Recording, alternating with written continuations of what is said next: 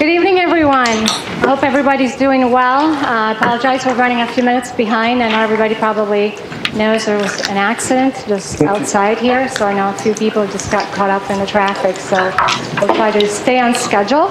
Um, but I want to thank everybody for returning for our second part of the workshop. Um, and I'm sure this will be just as valuable as this first part. Um, and uh, I know that it seems like the seasons have changed since the last time we were here. It seemed like it was summer then and it's winter now, so we have watched the seasons change.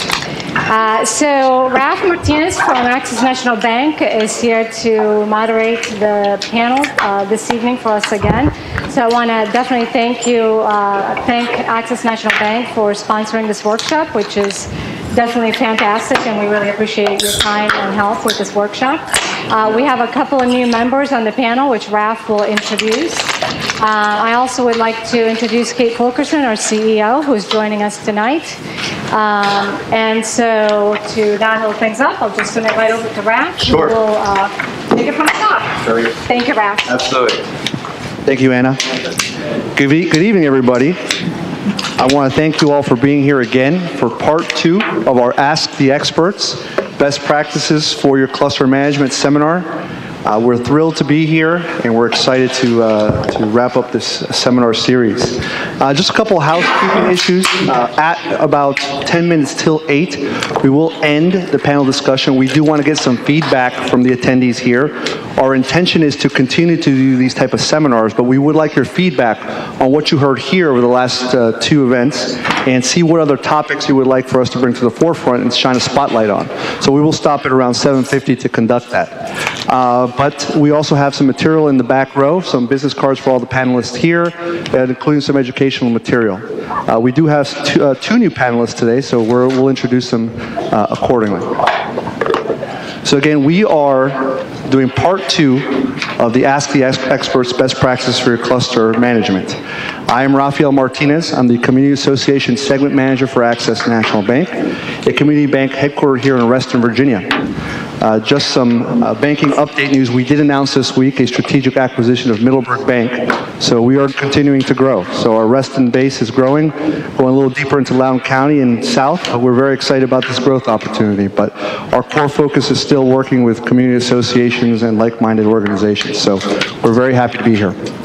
Uh, we are very honored and happy and thrilled to have a, uh, these very uh, talented speakers and panelists. So without further ado, we will go down the line, have everybody introduce themselves. They'll give us their name, name of the company, and how long they've been working with community associations. Lori? I'm Lori Ryder. I'm from Sahouri Insurance. I've been working with community associations for about 14 years now between the property management and the insurance industry. Thank you, Lori. Sue? Uh, Good evening. Uh, Again, I'm Stu Willis. I'm a Senior Vice President with the Falcon Group, where we are engineers, architects, and capital reserve specialists. I've been with Falcon for some 11 years now, and I've been performing capital reserve studies since 1989. Thank you, Howard. My name's Howard Goldklang. Uh, My uh, company is uh, Goldklang uh, uh, Group uh, and Associates. We are a CPA firm that does audits exclusively of uh, community associations, condominiums, and housing cooperatives. And uh, we actually are uh, physically located in Reston. Thank you, Howard. Bruce? Good evening, everybody, again. Bruce Eastmont with the law firm of Chadwick Washington. Like Howard's firm, our firm focuses solely on the representation of homeowners associations, condominiums. Uh, We also have the distinct honor of representing the Reston Association. I am uh, a former president of a condominium association in Falls Church and vice president of a master association, uh, both in Falls Church, Virginia. Also the incoming president of uh, Washington Metro chapter of CAI, and I've been in the industry for about nine years. Great, thank you, Bruce. And my name again is Rafael Martinez. I'm the Community Association Segment Manager for Access National Bank, focusing all of our efforts in the community association market. I focus on lending and treasury management for community associations. I am a certified treasury professional, which is a distinction that shows expertise in risk management and capital preservation. Along with Bruce, I also serve on the board of directors at the CAI local chapter. And Bruce uh, was very, being very modest, but he was elected last year to be the incoming president. So we're very happy to have him here, and we wish him the best of luck at his term that's upcoming. So congrats, Bruce. Absolutely. So just to review the uh, rules of the road here, this is a panel discussion that's meant to be interactive. So we have some questions that we'll throw out to the panelists for them to dive into a little bit, talk to sharing some of their expertise and their subject matter. Uh, but if you have a question or a concern or something that comes up, please feel free to raise your hand. On your desk, you have one of these small little microphones. Please use that to uh, ask your question so everybody in the room can hear. Uh, so please uh, feel free to raise your hand anytime, and we're happy to field your question. Uh, before we get started, I do want I do have a uh, another plug for the Community Association Institute. We talked about resources last time, and somebody asked about some more information. I gave out the website. In your packet, you should have two pages that talk about the mission statement and the history of CAI. So take a look at it when you get a chance. It's just uh, another resource for you to log into as you uh, face the challenges of the Community Association volunteer leader. Okay. So last time we had a lot of discussion on insurance, so much so that we said, hey, we could we could do an entire seminar strictly on insurance. So we put Lori in the corner specifically for her to start it off and come on over here. Uh, so again, we're going to ask some questions about insurance, Lori, and if you can just kind of tell us, the last time we were here, some of the concerns were understanding the different types of policies that were available for, for community associations, why they would apply to some and not some others, and determining how, how can a community association board determine the right amount of insurance that's needed. So one of the first ones that was talked about was D&O. You talk to us a little bit about that? Sure. Um, Can everybody hear me? First Use of the microphone. Yeah, this helps. Yeah, I tend to talk very softly. Um, Directors and officers liability insurance is designed to protect the community association and the board members from lawsuits that result from the actions or decisions you make while you're serving on the board.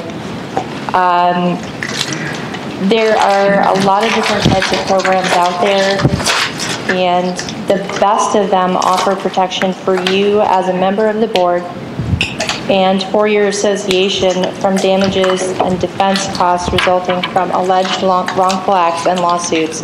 But to, to put it in everyday terms, I think one of the most recent claims I saw was uh, an allegation from a unit owner that the board had made decisions in executive session improperly.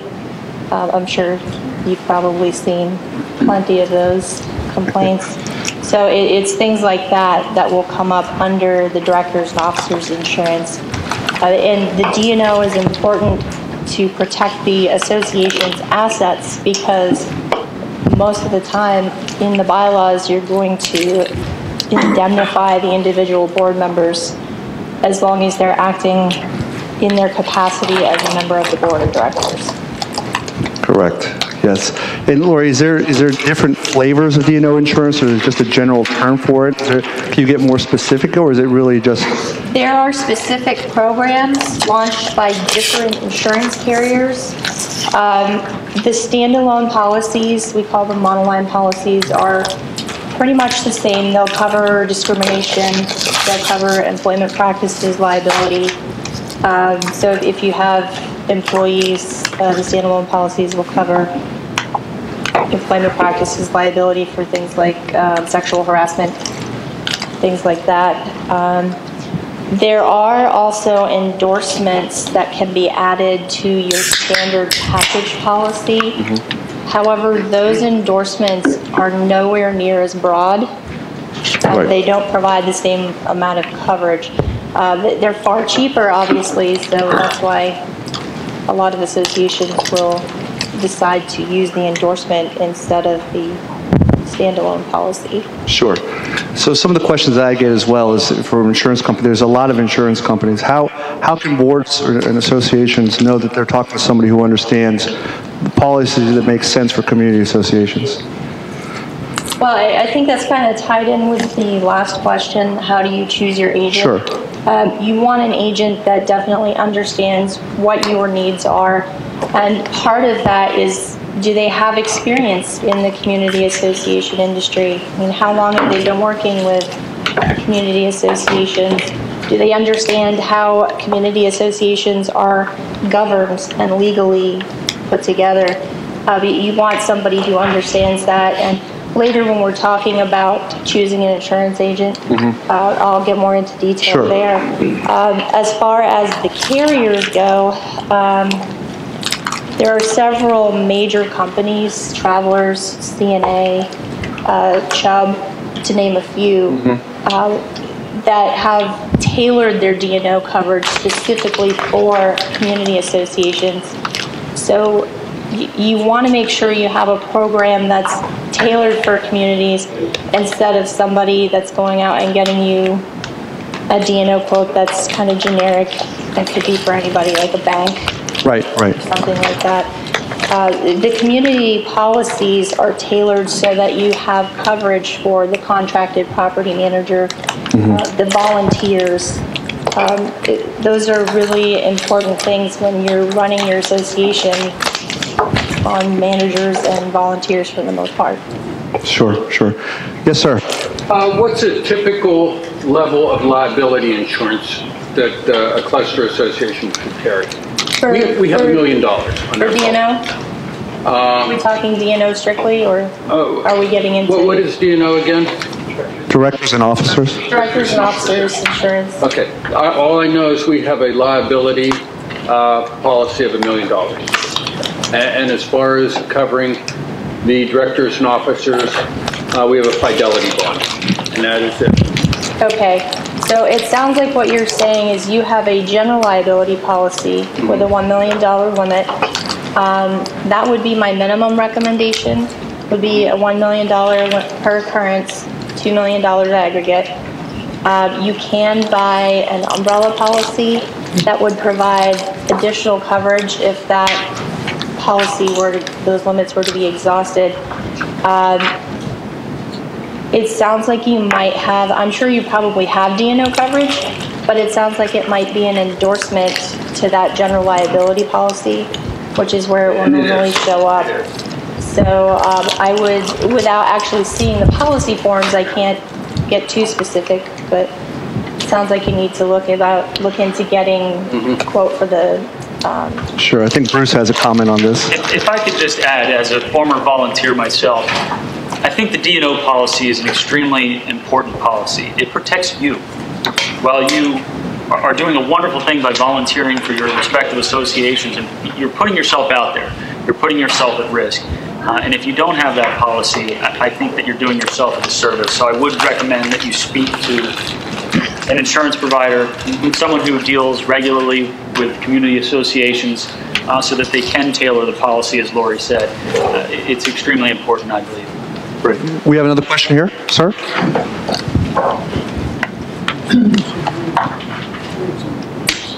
I don't know how it works. Green means go. If it's green. Not turning it.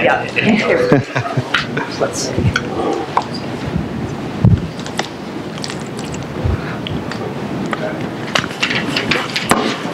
Yeah, um, uh, I have a couple of questions, I guess. One is, um, and I apologize if I'm asking something that was answered last time. Wasn't No, please go ahead. here.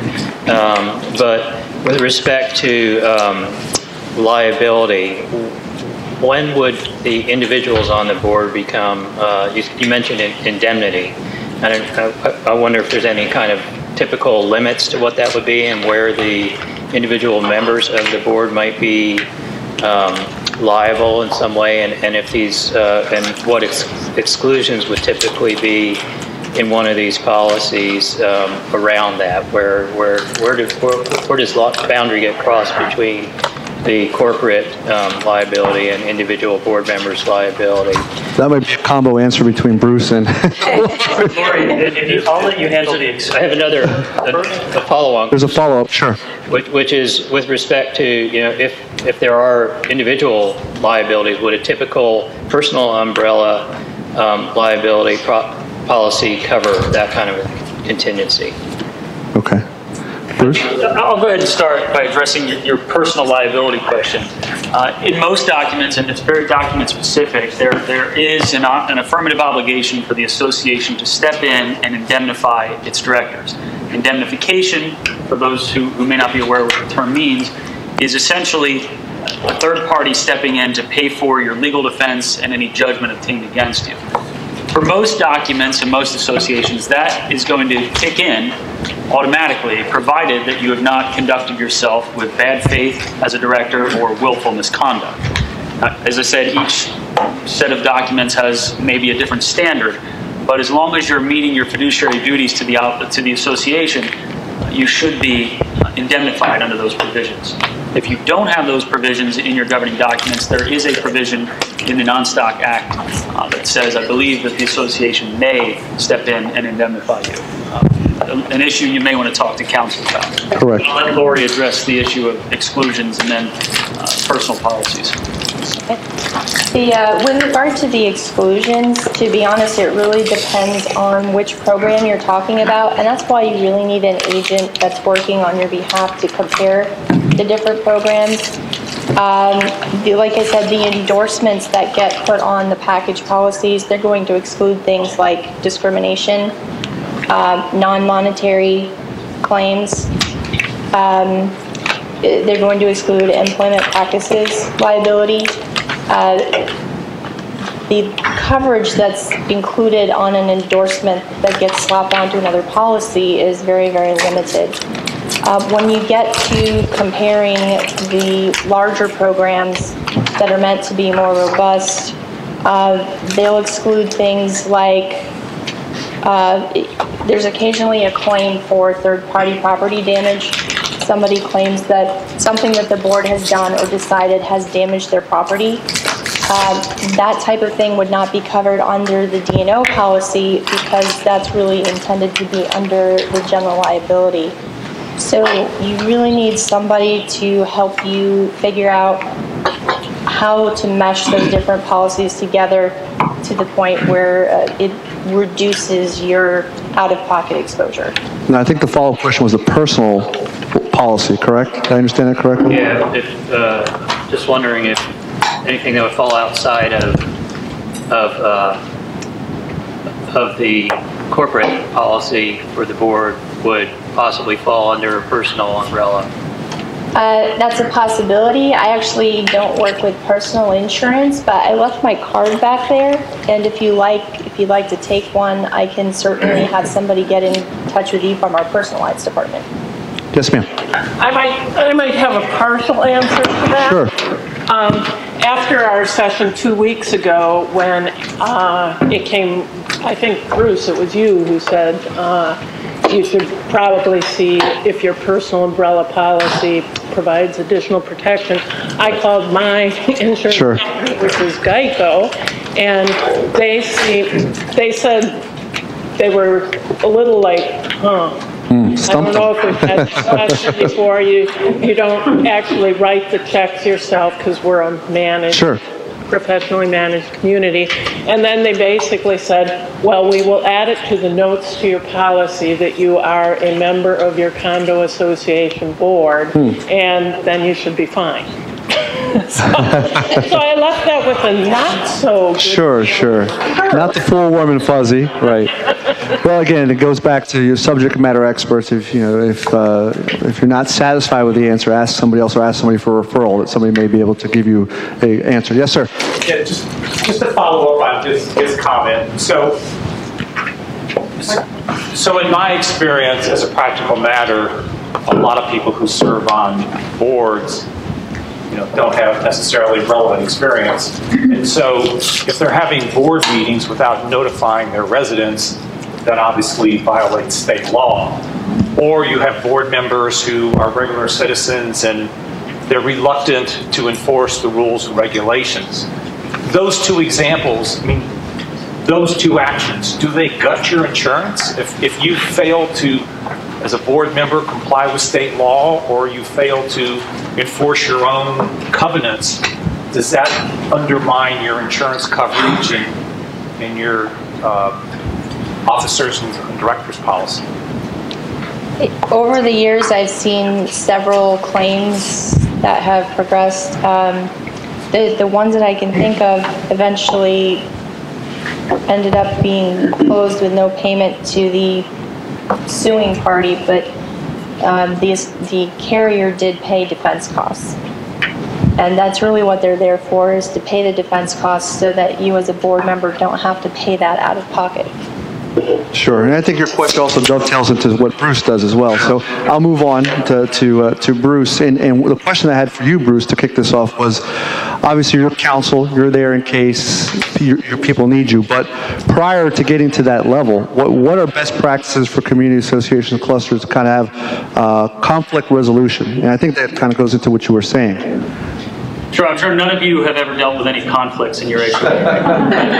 um, it, it's, it's an issue. We have people living in close quarters, and there are going to be people who breach our covenants, who break our rules.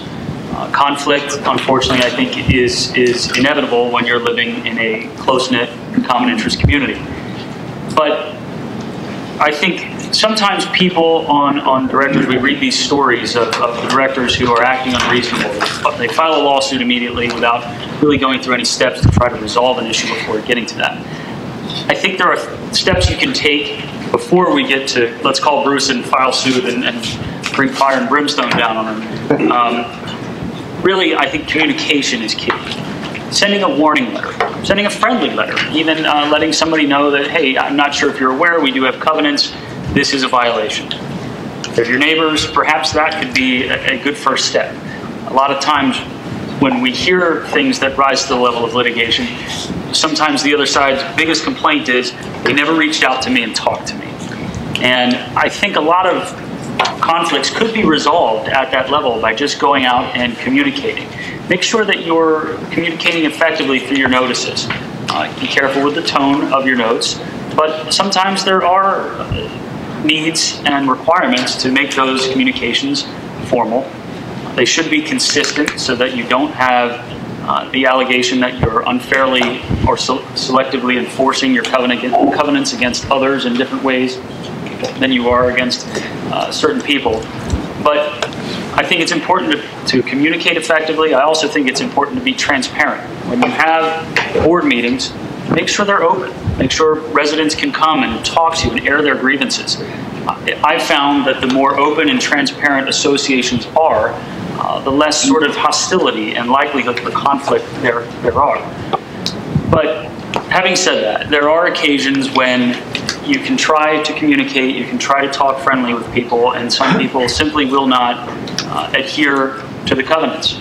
And when you've exhausted all of your other remedies, sometimes the only thing you can do is seek counsel and follow the legal remedies that are set forth in your governing documents. But again, you may want to talk to counsel when you have a conflict, but sometimes resorting to litigation should be your, your, your last resort.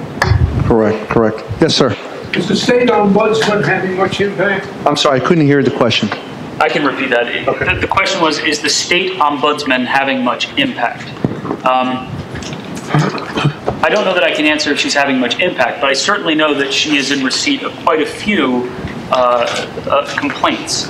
She, she has a, a, listing on her website of her opinions that she's given uh, in the past. Uh, Heather Gillespie, I, have worked with her. She's a very fair um, ombudsman. She does a tremendous job down in Richmond, and I'm very thankful for the service that she provides to our associations. Um, but keep in mind that those complaints for the ombudsman need to be based on uh, allegations that an association has breached Virginia law or Virginia regulation.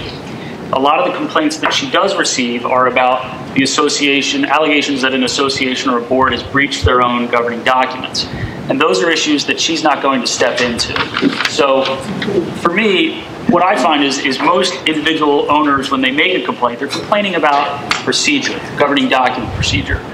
Um, so to answer the question in that regard, perhaps there's a, a, a section of those that Heather can help with uh, if associations are violating uh, state law or state regulation, but there, there is a missing piece there that associations need to handle internally.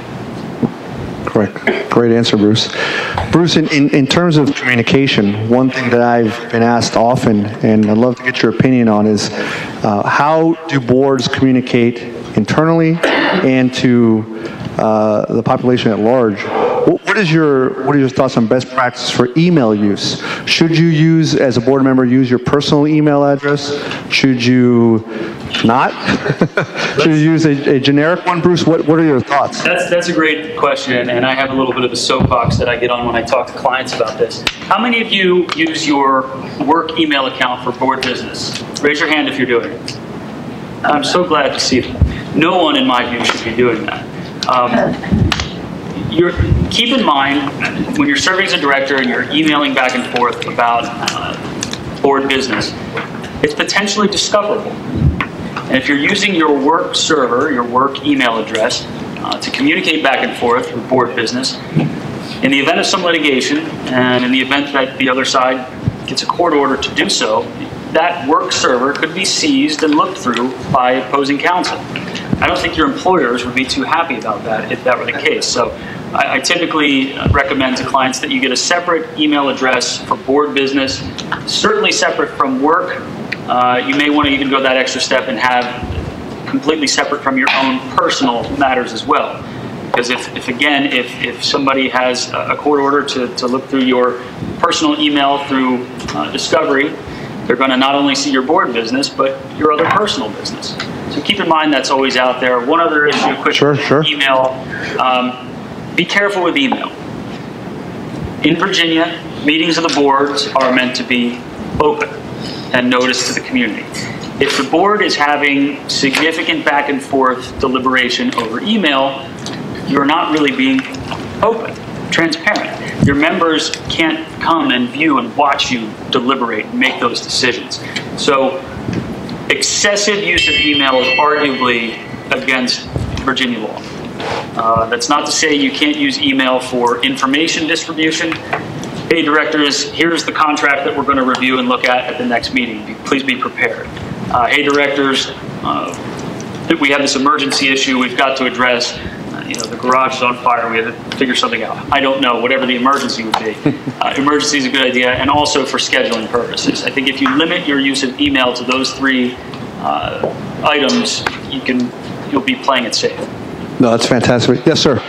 What about any problems with um, using email to make notices about when board meetings are going to be or anything like that? Do you still, is it still a good idea to use the old fashioned, put a sign up or? So, good, good question. The question comes to notice. Is email to your members good notice if you have to send your meeting, uh, your notice of your board meetings out to your members?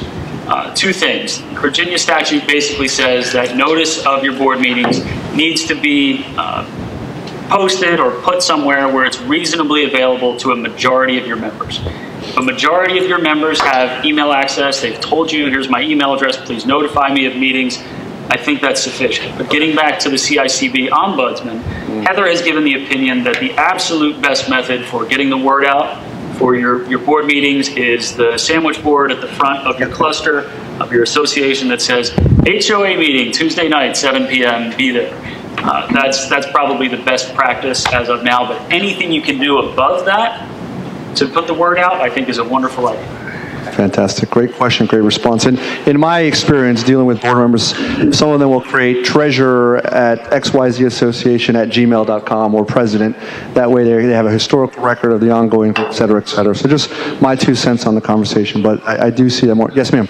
Well, sort of tied into that, Sure. aspect, if you've got a generic one, a lot of times you have a generic one forwarded onto your personal Mhm, Sure. So does that sort of bridge it over? So would it only be limited to treasurer at cluster, or would it actually? I'll, I'll defer to counsel on that, but I, I would, Bruce?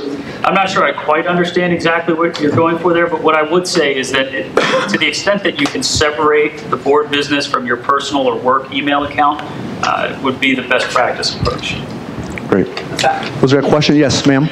Yes, my question is about um, notice, not notice of board meetings, but the, um, I I guess the, the the minutes of the board meeting. Is there a requirement to send those out on, after the board meeting to all members, or what? Or can we put them on a um, website, or or what? Again, making sure that they're reasonably available, that there, there's a distinction here between making sure your members are regularly updated about, as to what the minutes are. I think posting them on the website is sufficient. But keep in mind that when you're doing a resale disclosure packet, uh, that you do need to provide the last six months of approved minutes. in there. Okay. Right. Good point. Yes, sir. Is there a question? Okay. Yes. Don't be shy. I asked a lot of questions. Um, What types of uh, discussions can happen in executive versus open um, uh, meetings of the board? And you know, that's it. So the question was, what type of discussions can be had in executive session versus general session? The Virginia law actually sets forth a, a very specific list of certain enumerated reasons why you can move into executive session and discuss that. Some examples those, of those would be to discuss and consider personnel matters, if you have employees or management you want to discuss, uh, to discuss violation of the covenants, delinquencies, to discuss and consider contracts and meeting with legal counsel, uh, either to discuss pending or probable litigation or just in general to meet with counsel. There may be one or two others in there, but off the top of my head, um, those are the, sp- a few of the specific ones I can recall. Um, If you have specific questions that you'd like to talk about later, I can point you to the specific statutory provision. Great. We'll have one more question on this topic before we move on, sir. Okay, whenever the board goes into executive session, do they have keep meeting minutes, and are those available to the public? So executive session, I get that question a lot. Is that something we should be recording minutes during? And the the answer is no. Uh, When you move into your executive session, the purpose of that is for the board to talk without that being on the record, uh, simply because there are sensitive issues uh, that the Virginia State Legislature understands need to be discussed in a closed session. Um, Caveat is you can't take any action while you're in the executive session. Whatever action that you propose to take needs to be actually done when you reconvene in your open session after your closed session. Correct. Great question. Great answer, Bruce. Let's move on. We do have about 50 minutes left in this uh, great seminar, but we have other topics to discuss today, and one of them is uh, the fiduciary responsibility that us, the board members have. Uh, with us today is Howard Goldklang, uh, one of the, I think, the charter member of the local CAI chapter. Um, and one of the questions that I wanted to ask you, Howard, was, and I get this often, especially from the smaller associations, is what, what is the purpose of an association audit? What does it accomplish, and, and what are the, what are the best practices to make sure it gets done? Well, a uh, audit's objective is to express an opinion on the association's financial statements, uh, provide independent assurance that financial statements are properly presented, conduct substantive uh, testing of associations' transactions and documents. That's a basic thumbnail of what, what a uh, annual audit would do. So do all associations have to have audits, Howard? Uh, I don't, uh, unless their documents speci- specify that they should have an audit. Um, I don't think there's uh, state law that requires it, is there? No, I don't think there's. uh, Good business practices would indicate that you should have an audit, uh, but from uh, the standpoint of any legal requirement, uh, there wouldn't be. Sure, sure. And the audit's obviously ensuring the financial security of the association. And moving on to the second subject on that, Howard, what, what are advisable investments? What, what do community associations, what is the role of the association treasurer in ensuring um, the growth of, of common dues or common funds? Well, that's something you should answer. I thought we could tag team this one. My objective has always been uh, safety. Associations collect funds for only one purpose, and that is for future capital expenditures related to their uh, long-term reserve needs. So the only objective really is to have those funds available when the expenditure is needed. And I know we have a reserve specialist here, and the reserve specialist can give you some ideas as to the program necessary to uh, uh, put a, uh, a kind of a framework for uh, reserves and how you would be setting aside those reserve funds. Well, let me reposition my question, Howard. This might be better. Uh, What's the difference between the operating reserves and the replacement reserves? Because I do get that question often, and I always try to defer to, to subject matter experts like yourself. Well, all of you are in associations, all of you work with budgets, all of you work with financial matters. Associations budget uh, to determine what their revenue is going to be. They determine it, uh, determine that in advance of the year. So uh, some expenditures that you're going to make are easy, easily determined. You're, those uh, that are contracts uh, that you have in place tells you how much you should be uh, assessing for that. But there are a lot of expenditures that are unknown to some extent. Um, probably for most associations, a big example would be snow removal. It's hard to determine what the snow removal costs are going to be. The, the objective of the operating reserve is to provide a set, uh, a set of funds available so that if you have a shortfall resulting from some of these unforeseen uh, situations like snow removal uh, or repairs and maintenance that you didn't anticipate, uh, you have this operating reserve. Uh, industry guidelines uh, rec recommend that you have somewhere between uh, 10 and 20 percent of annual assessments as an operating reserve. So if you have an association with an annual assessment of around 100,000, you should have something like 10,000 to 20,000 in an operating reserve. Right. And that's for contingencies. The replacement reserve, that's um, based on the replacement reserve study. That's an expenditure that's setting aside funds for these future capital uh, needs. It's like any other expenditure. It's not available for anything else other than those replacement reserve expenditures. So that's the difference between the operating reserve, which is a contingency fund for unforeseen circumstances in your operations. The replacement reserve is an expenditure that's setting aside funds for these future capital expenditures. So if you had, as an example, a roof that's going to last uh, 20 years and it's going to cost, uh, say, $100,000, uh, you should be putting aside, uh, I guess, $5,000 a year for that. Um, Yeah. and that's an expenditure. That $5,000 should not be used for uh, overages and anything else. Uh, It's for that particular purpose. Great. Is there any questions about, uh, yes, sir?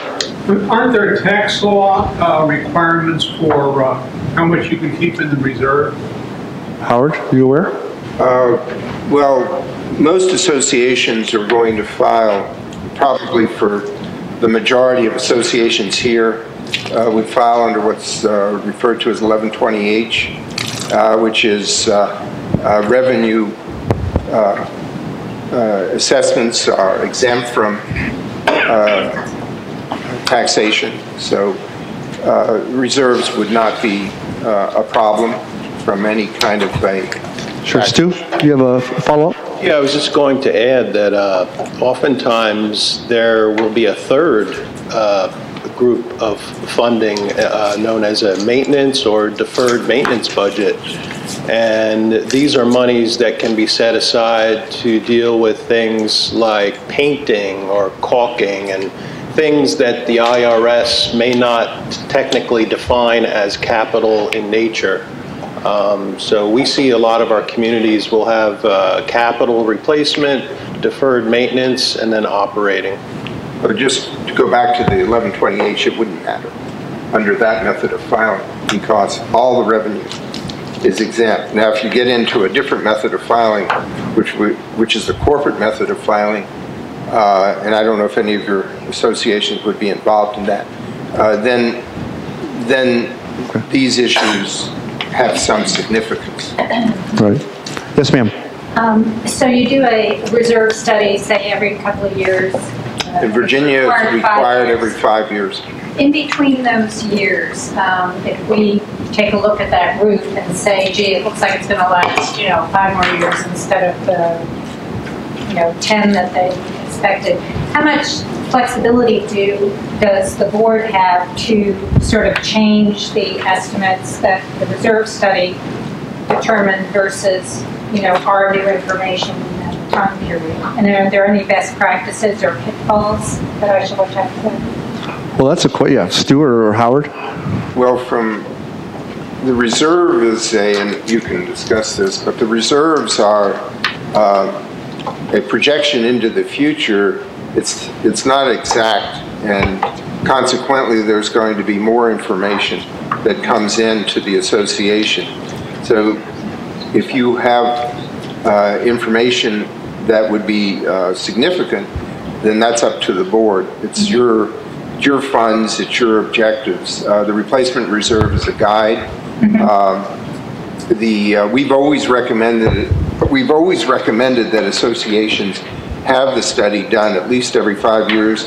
Virginia law now does require it be done every five years. Uh, It could be done uh, every year. I, I don't have a problem with that. I think it's, the more information that you have related to these uh, capital expenditures, the better information it, it would be. You wouldn't object to doing it every, every. That's a conflict of interest right there. It's, it's well worth. I think CAI recommends every two to three years. That's correct, two to three years of CAI. Jeanette? Yeah, now, as far, are there any sub-accounts in the reserve? If you're setting aside money in the reserve, then, you know, in aggregate, you have to set aside $500,000 over the next you know, 30 years or something like that for 10 different elements. Do you need to have like little subcontracts into that reserve so that in case you, something costs more than what you expected, um, that I mean, you know what I'm I, th- I think, I, yeah, I think I know where you're going. Could you repeat the Um, question, please? The, the question was, uh, should you have an allowance built into your funding? No, should you have sub-accounts? No, I I think what you're saying sub-accounts is. Within your reserve? Mo- Most associations are using uh, the cash as pooled for all of the reserve expenditures. Right. Uh, And then, you know, you could probably talk about Yeah, I don't think too many management companies would split it out. If you're self-managed, you might have the option to do that, but again, that's an internal accounting issue. You you know, do you want to take that on? Yeah, there's two different, uh, there's two different elements here. One is the objective of the replacement reserves, and the other element is funding. And the funding uh, aspect of it, and you can talk about the cash flow methods versus the uh, um, full funding, full funding or threshold, or, uh, there's a variety of different uh, ways of looking at the reserves from a funding standpoint.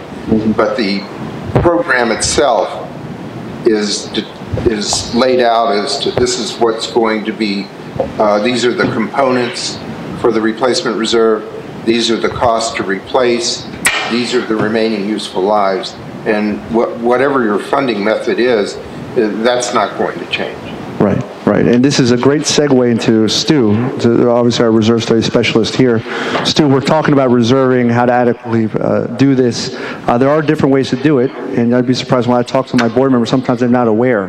Could you, could you tell us a little bit more about what the difference between the full funding and the cash flow method are? And how would it apply to uh, stakeholders here?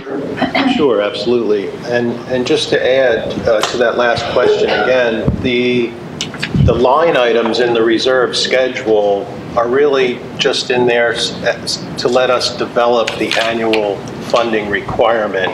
Once, that annualized funding requirement has been calculated and your, and it's in your budget and you have that balance in your fund going forward, you can use that balance for any capital issue that comes up. It's not nailed to those specific items, um, which, which kind of touches on the, the, there's generally two main schools of thought uh, as far as the uh, financial funding strategies go, how you save your money every year, and what that number should be. Uh, The first method is known as uh, full funding or component method or straight line method, and that's just simply uh, a a- factor of total depreciation at any given time. For example, say you had a lot of fencing and it was worth $100,000 and you had, you knew that you had to typically replace it every 10 years. well, then your annual funding requirement would be just 10,000 a year. Times 10, you got your 100,000. Uh, If you were going to determine your percent funded, which is, seems to be a hot topic these days, uh, if your community was five years old, to be 100% funded, you would need to have a balance of 50,000. It's just straight line, straight math.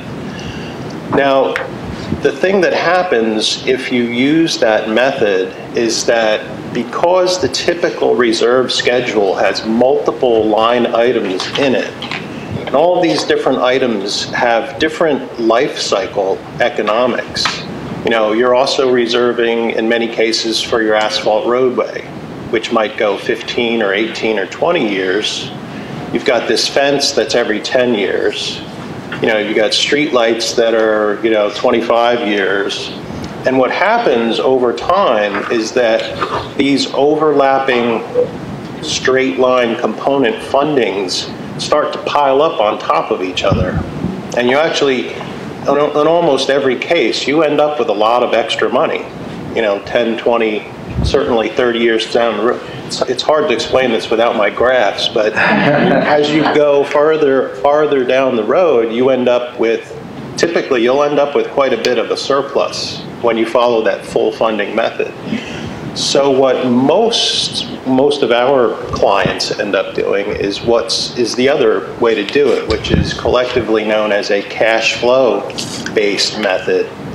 Some people call it the pooling method, because as we were just saying, rather than trying to, uh, you know, uh, fund every single line item 100% at any given moment for its depreciation, instead you just say you, you you plot out your expenditure schedule. You know, you have the reserve study done, so now you know that you're going to need 100,000 in 10 years. You're going to need 250,000 in 18 years for that road.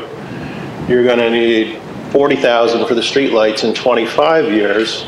So we plot we plot out all of these expenditure requirements over time.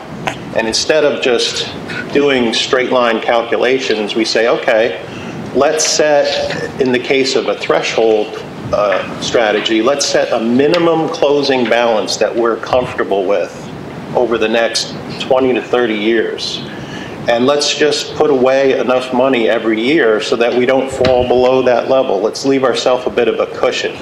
We always recommend using at least 5% of the total value of all your common assets uh, as that cushion. So instead, we, we do that calculation. Um, and that, so, so in essence, you are fully funding for every project that comes due over the course of time, but that cash flow based calculation is almost always quite a bit less per year than the full funding calculation would be. And uh, many times, uh, an older community or a community that has fallen behind in their reserves, um, you know, they're lucky to, they're lucky if they can do that 5% threshold uh, cash flow method. Um, it also kind of begs the question, you know, what is percent funded? There's, there's been a lot of talk in the reserve industry lately about you know, is there going to be some sort of a, a housing rating system for condominiums and HOAs? Is, you know, are we going to come up with this like magic uh, metric that's going to say, you know, are they good? Are they doing? Are they doing well with reserves, or are they doing poorly, or should it be based on percent funded?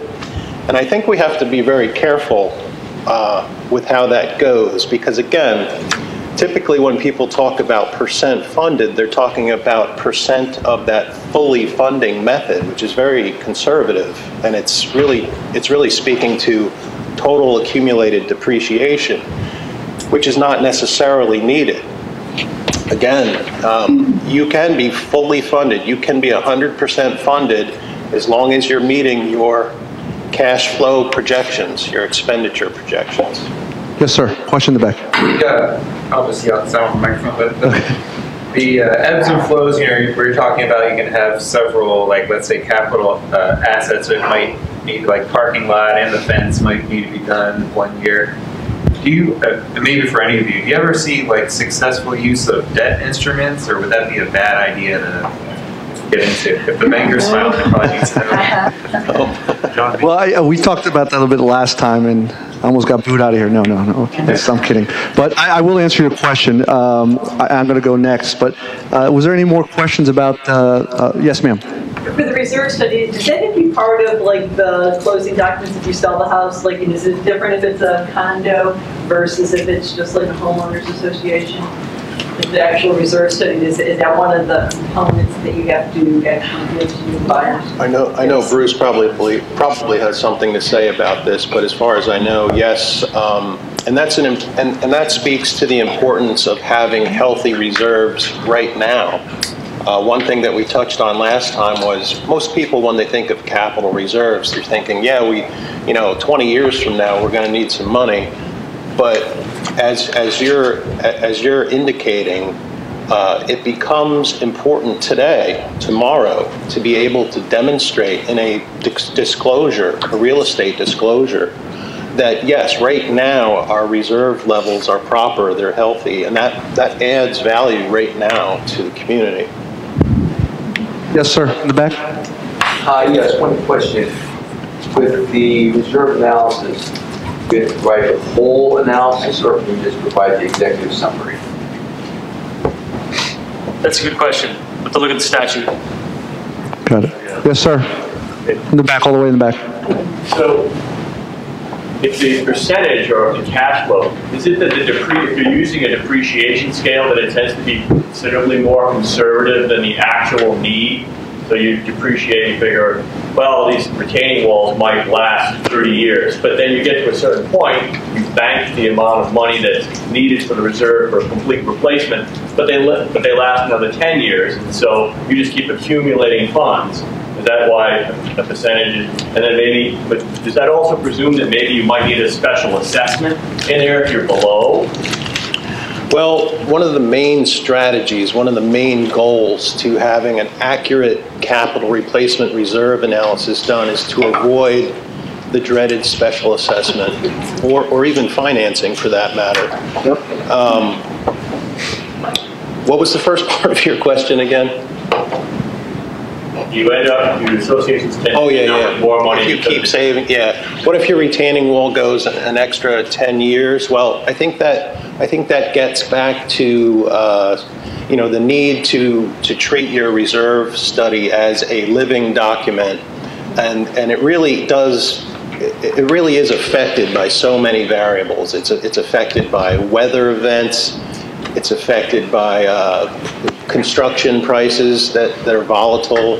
It's affected by how much money the, the community actually does reserve. They don't always do what we recommend. So it gets back to the need to revisit this document every two or three years, we recommend.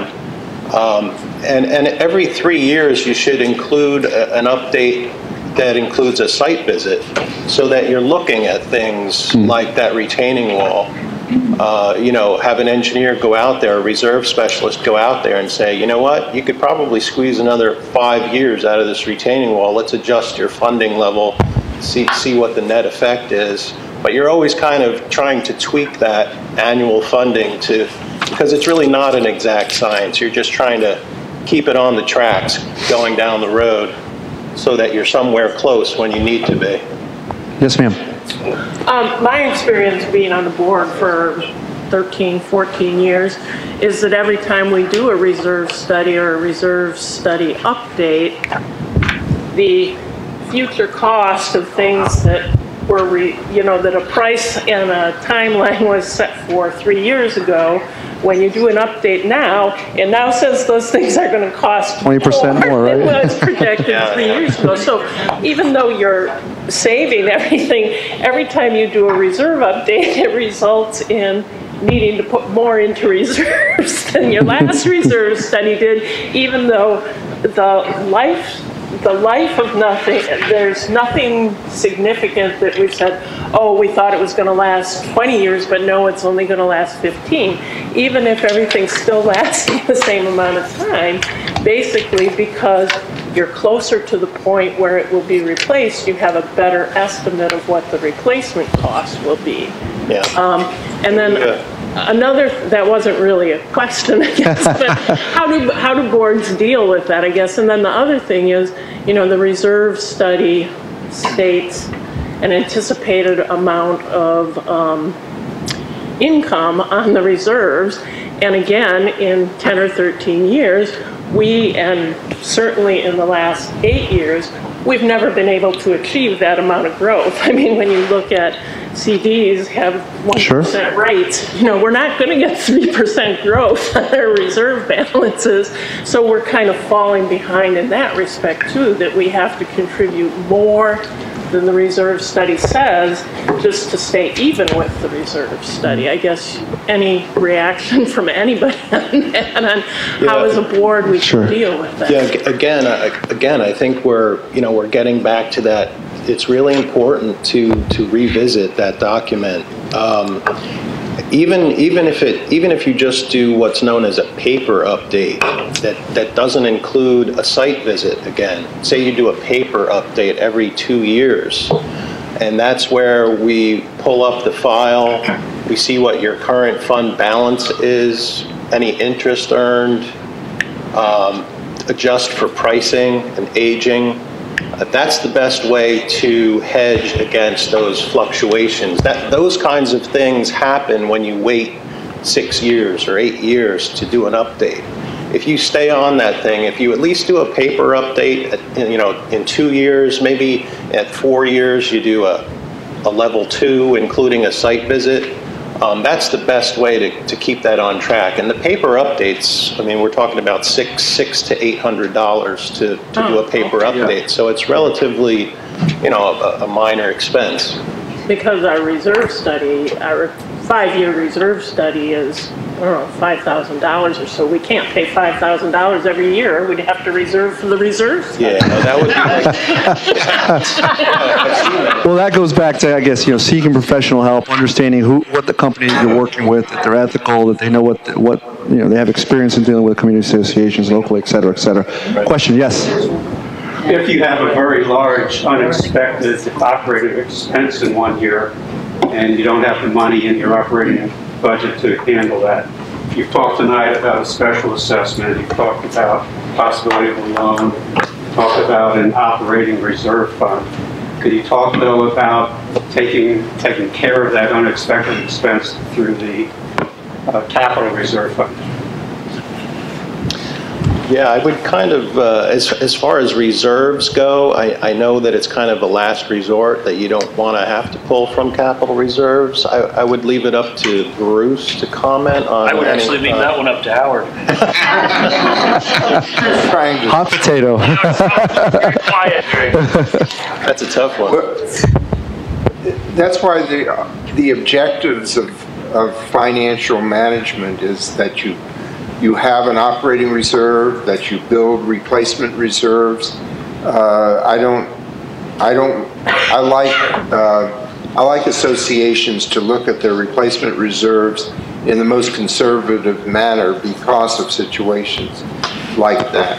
Um, the, uh, if you, if you are budgeting uh, properly and you're building up adequate operating reserves and adequate replacement reserves, uh, then uh, you shouldn't have a problem. If you do, sometimes uh, uh, we had an association with major flooding. Uh, Obviously, snow removal can be a a significant unexpected circumstance.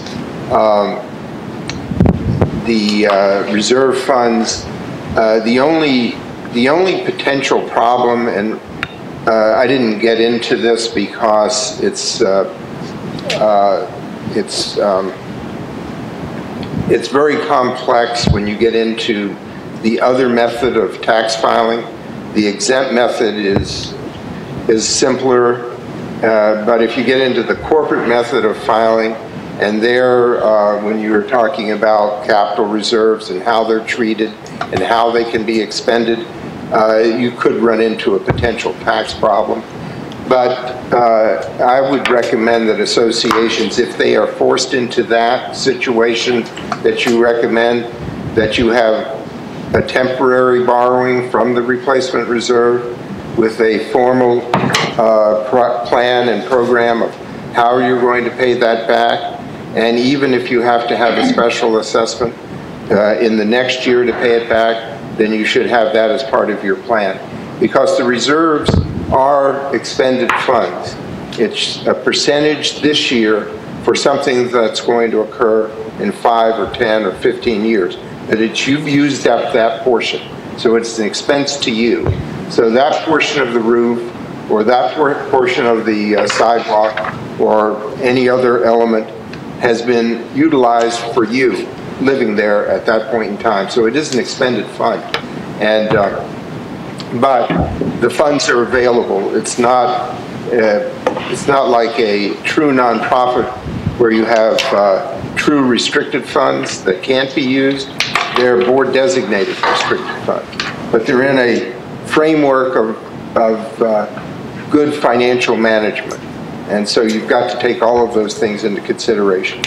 But, uh, and I'm, I'm president of an association, and it's a constant battle with the rest of the board to try and get adequate funding through the budget because there's a, there's a paradox with associations. Uh, Nobody wants to pay uh, the assessments, but everybody wants their association to be as valuable as possible. And you can't do that without revenue. You've got to have the revenue to make the expenditures. You've got to have the revenue to make these capital expenditures. And uh, you read periodically, like in uh, a week or so ago, or a few weeks ago, about in this in the Post, there was an article about um, a building uh, that's got cracks in it, uh, or another building that can't uh, replace the elevator. It's eight floors, so the people have to walk up eight floors because they can't replace the elevators. So you can run into those types of problems uh, if you don't have adequate reserves, adequate operations, and a reasonable budget uh, developed properly by the uh, community, the board. That's a great answer, Howard. Yes, ma'am. Um, so far, people have been talking about reserves mainly from the standpoint of you have reserves to ensure that you have the money when the expense hits. But what about the role in, of reserves in spreading the cost over the people who live in the community, over the life of the community, so the people who are living there when the big expense hits don't pay the cost of the people who were living there 10 years ago and 10 years in the future. Well, that's what I was just saying, that you, as those who are living there, are utilizing the uh, roof, utilizing the, um, Common elements. all of the common elements, so it's a true expense to you. And so those funding, those funds are being set aside for the actual expenditure of that, of that roof. But um, there's a lot of other topics I guess you wanted to talk Sure, about sure. besides Uh, reserve. It doesn't always, it doesn't always go that way, but that's, yeah, that's what we call the concept of fair stewardship. You're, you're paying to, you're paying for that roof that has kept you dry for 10 years. You know, you pay as you go rather than wait till the end. That's fair stewardship, and that's another goal of having the reserve, the annualized funding determined in a, in a fair way, equitable way. Yes. Ma'am? Is there any liability for the officer if they don't get it achieved during that period of time to actually be liable back? Like basically, if you're not setting aside the money, if you Mhm. can't get the people to do it, then all Sure. of a sudden you start realizing you're 50,000 behind, so then the people in 10 years from now need to replace it. Did you ever be held accountable, assuming you're still in the area? You haven't slept. Bruce? Does your insurance cover it? Sure. Uh, The answer there is if, if it sometimes can be hard to certainly balance the political problem of having to raise assessments versus fully funding your, your reserve study in accordance with the study that you have. Uh, what I would say to that is if you're unable to meet your funding requirements that are set forth in the study, you should have a, an express and a good reason why. It shouldn't just be, well, we don't want to raise assessments. There should be an absolute reason why. Well, we've tried to raise assessments and we can't get the membership to approve it, or we had these uh, unnecessary or, or these necessary expenditures that prevented us from reserving this year. There should be a good reason as opposed to we just don't feel like doing it. Uh, and your membership should be made aware that the board is, for this specific purpose, not funding fully this year. Uh, but if, if, with regard to personal liability, I think you have to again find yourself in that bad faith, willful misconduct area before you get into trouble. Thanks, Bruce. Now, we are trying to end this at 8 o'clock promptly to respect everybody's time, so we have one more subject to get to, but we will take one more question, ma'am. Thank you. I was actually going to change from the reserve. Sure. One, one comment and one question. We went last night to the Fairfax County-sponsored Virginia uh, Legislative Forum that takes place every year with experts from across the region talking about the legislative action that is coming down the pike for community associations. And we go every year, and I, it's highly recommended. We learn so much. But we also, I have a question that didn't get answered Sure. last night. And they, they talked about needing to get, if we have, we have rules and regulations in our community, but they're just rules and regulations that the board made up. Um, and we distributed them, you know, we had community input. But they were saying last night that we have to get the members to acknowledge them.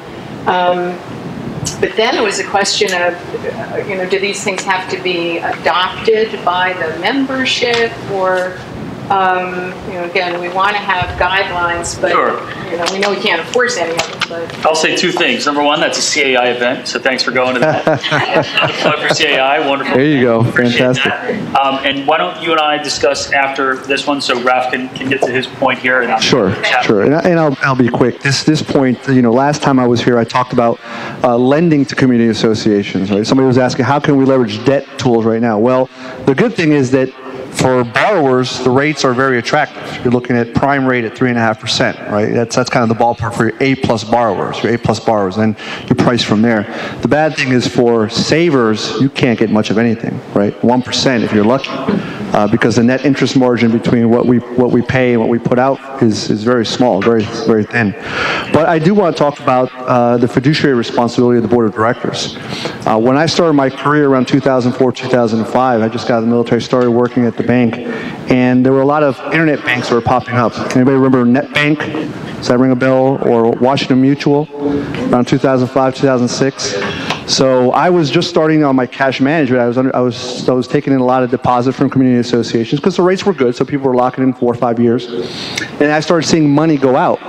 But as the maturities came out, people started rolling it out. This, these are property managers and boards as well to Washington Mutual, NetBank, some of these other banks were paying way above market rates. We're talking at that time six and a half, seven and a half percent rates for CDs at that time, and that was just uh, you know, rates were good, but not that good. So we were we were kind of scratching our head, and what we realized later was that these banks were hemorrhaging money on the front end. So we were, they, were- they needed money bad, so they were willing to pay above market rates to get the money to come in. So the one note I want to leave you here is just be, be mindful of, of chasing the rate. Everybody here has that fiduciary responsibility to for good stewardship of the funds. Uh, competitive rates, of course. Uh, some banks, some of the larger banks, they're very, uh, they have a lot of overhead. They're not going to pay you much, five, ten basis points if you're lucky. But check out some of the banks who have a specialty in working with community association banks. If you ask, they might have some rate sheets for you that are not public, They're more for their nonprofits and community associations, where you could take advantage of some better rates, above market rates, not crazy rates, but still be working with a bank that understands how to do business with community associations. Uh, on the lending side, you know, in theory, uh, community associations should never have to borrow right? Because you're adequately reserving, you're budgeting correctly. We just talked about that here. Uh, but things happen. Um, things happen, whether it's a hum- oh, it's a big snowstorm that knocks out a common element. We had the derecho a few years ago that you know a lot of communities were severely impacted, and they just didn't have the reserves to take care of one of these common elements that was severely impacted. So for those who are find themselves in that position, but have a reserve study, have good counsel, you always have to have uh, counsel to borrow. Uh, we talked about that last time. Uh, there are opportunities to leverage debt instruments. Uh, debt instruments are, are, good to take care of that issue right away. Uh, the loan terms are no longer than five years, so you have up to five years to pay that back. Uh, and again, the terms are great, anywhere from uh, three and a half to six and a half percent uh, for borrowing rates. So if you do need to go down that road, again, not all banks are created equal. Not all banks understand how to work with community associations. Ask for a referral. Go to the CAI website for banks that understand how to do business with community associations. And lastly, real quick, uh, I was asked last time some investment, you know, what can we do to get some, some interest, some returns on our, our funds? You know, it is tough. We're in a depressed interest rate environment right now. Uh, I don't think anything's going to happen until the end of the year, to be quite honest. The Federal Reserve has raised the prime rate one time since 2009, and that still hasn't made, moved the needle much on deposit rates. Uh, but there are some tools that you can use, such as ladders. Um, operating reserves should mostly always stay in money market accounts, so you have liquidity for them. Uh, those uh, replacement reserves, you can put them in CDs. Um, if you've heard of tools like laddering CDs, CD ladders, those are fantastic strategies for you to take advantage of a higher rate, uh, and then CDs are always rolling off every 18 to uh, 12 months. Those are fantastic ways for you to leverage your assets to get to get a higher weighted return on your on your reserve uh, funds. And if you have any questions about that or how, those strategies, feel free to feel free to reach out to me directly. Actually, I believe Howard Goldklang he wrote a book on uh, the role of the association treasurer. He brought a couple copies that are in the back. Grab that on your way out. It actually talks about the uh, laddering strategy and the dumbbell strategy. So those of you who are sitting on a pile of cash but are unhappy with your rate of return, uh, take a look at the laddering strategy and how you can uh, access a higher rate uh, while still maintaining some liquidity on the short end. So, thank, yeah, it's a great book uh, written by Howard. So we have about five minutes left here. I did want to have every panelist give a closing uh, comment, and then if everybody stays in the room for an initial two minutes, we just want to get some information about future future seminars. Um, so Lori, you've been quiet for a little bit. What, what should community associations clusters look for in their uh, insurance provider? You, you really want somebody who's educated, who knows what your community association needs. So you want somebody with experience in the community association industry and ask those questions. When, when you call looking for an agent, ask them what their experience is. How many years have they been doing this? Um, do they understand how the association is to be set up or governed uh, via their governing documents? Um, ask them what their education has been. Um, unfortunately, to get an insurance license, I hate, I hate to say it, but it's very, very easy. If you're good at memorizing, you can take the book, do the practice tests, go to the testing center. If you come out with a 60 or better, you got your insurance license. 60 or better, huh? or, or that's what it was 10 right, years right. ago. Sure, sure, sure. I sure. got mine. Um, so you you really want to look for somebody who is continuing their education beyond that. They're they're getting designations. They're they're getting involved in groups like CAI, and they're learning, um, working beyond their current knowledge base. They're they're reaching to learn more so that they can do more for you. Fantastic. Thanks, Lori. Stu? Similar, same question. Yeah, um, so again, uh, you know, maintaining, establishing accurate and adequate capital reserves for the community is the single most important effort a, a community can make in uh, preserving property values. Um, make sure that your uh, reserve provider is uh, certified by CAI as a reserve specialist, RS. Uh, if possible, try to pick a reserve provider that also uh, manages the construction projects that, that are being reserved for. That, that gives those firms a unique uh, opportunity to stay in touch with current pricing. It ends up being more accurate. You know, if we, we manage paving projects every summer, we, we know what that costs uh, as of right now. Um, And what else? Yeah, I guess That's a good answer, absolutely. Howard?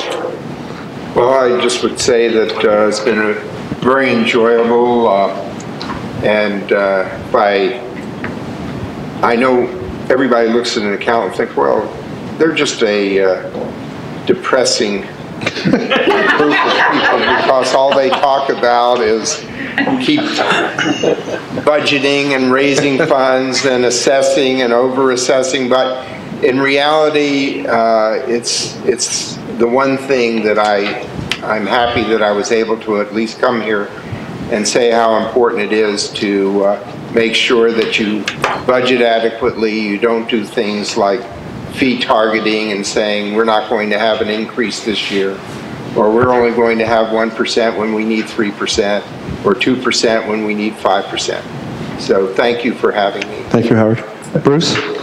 I think you, you, you've heard sort of a common theme for, for any professional that your association is, is looking to engage services of. Um, make sure they understand what you are. Community associations are rather unique. You're not a business, but you're not a collection of homeowners either. You're somewhere in between. Uh, we like to say that you are a business because you deal with money and funds, but you're not the same as a, a brick and mortar uh, retail shop. There's something different that makes a community association unique. Look for a professional that has experience in working with those. A great resource we've heard from, from many people is CAI. Go to their website. There's a service directory there of, of uh, many professionals who, who routinely work with community associations. So again, thank you for having us. Absolutely. Thank you, Bruce. And uh, I'll just continue the theme. CAI is a fantastic resource there. Again, if, uh, another way to do it is ask your fellow cluster board members, ask them for a referral. Who do they work with? Are they happy? That, that's a great way. Just uh, communication amongst everybody. Uh, I didn't finish my WAMU and uh, NetBank story. What happened was that those banks went under and then they were in, they were uh, FDIC receivership. So what happened to those high CD rates is as soon as uh, ING and Chase bought them or took them over, they slashed them to the bare bottom of the rates. So all that effort for essentially nothing. But uh, just be mindful of that. If the if it seems good to be true, it might be. So keep that in mind. And on the banking side, of course, um, not all banks are created equal. Some banks don't want to do. They don't even understand what a community association is. So make sure that whoever you're dealing with understands what a community asso- association is and your unique nature. So again, thank you all for having us here. We have five, about two minutes left here. I did want to ask a question on behalf. Of, all right, we're trying to do more of these seminars. If I could just get a couple hands or some uh, or some feedback from the audience here, what what additional seminars would be beneficial to you? If anybody has an idea, yes, ma'am. So this comes from the discussion last night Sure. about um, the movement back to your original documents and really understanding what those are and how you use them. And I think going into last night, I thought we were in pretty good shape, but now I- I'm, I'm really not sure. I think that's something um, that Sure, governance documents. And how, Yes. how to modify your governance. Sure. I mean, governance documents, we, we joke around. We could have Bruce and the, the whole, we could line up a room full of attorneys and not be done in a half-day seminar. But yeah, that's great. We will take, we'll take that note into consideration, hopefully uh, do another seminar like that. Any other comments, questions, or suggestions on additional topics or seminars? Yes, sir. updating design uh, standards and how that relates especially to new materials. Okay. Updating design standards and sharing the values, the common values. Okay. Uh, so I guess, anything else? Yes, ma'am. I think you could easily do a whole seminar devoted to insurance and a whole seminar devoted to reserves. Yes, you're right. You're right. And we probably will. We're just trying to think of something that you, you don't see here. That's a great one over there. Architecture design. Yes. legal guidelines 101 for running a good board? Sure. What are the requirements under the law? Just the basics. Okay. Ma'am, same thing? Sir? Along those lines, what's happened legally in the last few years and is likely to happen in the next couple with the state legislature? Sure. So they do every June.